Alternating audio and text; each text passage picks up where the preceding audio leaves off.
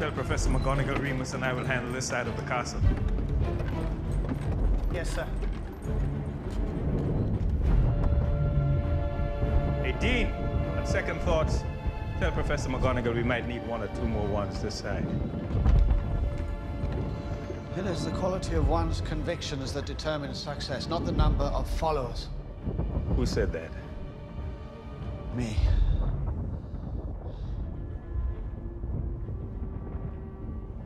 You okay, Freddy? Yeah. Me too.